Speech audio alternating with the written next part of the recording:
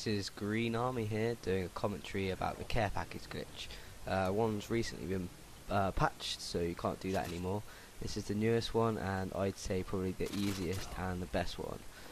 First of all you can do this in a public or private match but it's a bit newbie if you do it in a public match. People get annoyed and yeah.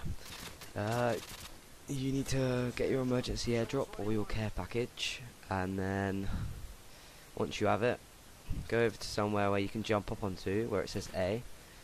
You click uh, RT hold down RT so you're holding your care package. Press A so you jump up onto the thing jump up onto where you're jumping and then double tap uh, right on the D-pad.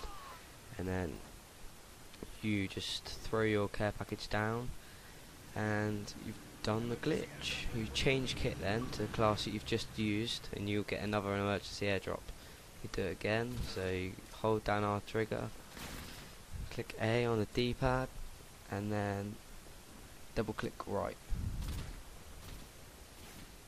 It's quite simple to do but it can take a few efforts like it does me here. You know you've done it well and you're holding your care package still.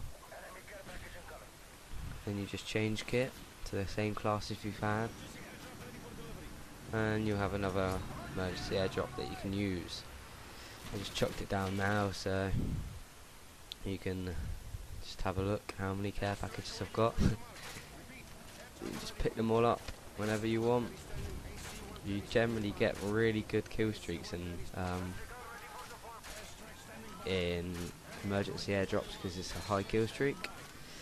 So you should get some good um, kill streaks. Thanks for watching. Don't forget to subscribe. Thank you.